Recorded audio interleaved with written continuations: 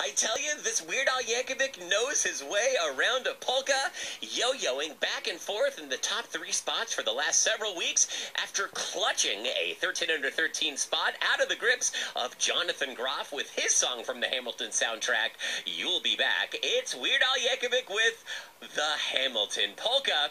Now, I know a number of people were betting that this song would be number one this week, but I have a feeling it's going to be around on this countdown for weeks and weeks to come. Well, this is it. It's the tip-toppiest spot of the week, the numero uno position on the 13 under 13 countdown. I asked you to make your predictions, and if you wrote Ziggy Marley and Ben Harper inside your envelope, give yourself a round of applause because you just picked the number one song of this week's 13 under 13.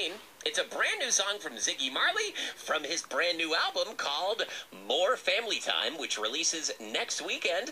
And by the way, Kids Place Live is going to be there. Ziggy Marley and his family are taking over the Kids Place Live airwaves next weekend for an hour of their favorite songs and family stories. Here it is, the number one song of the week Ziggy Marley and Ben Harper. Hey, he's no slouch either, with their song Play with Sky.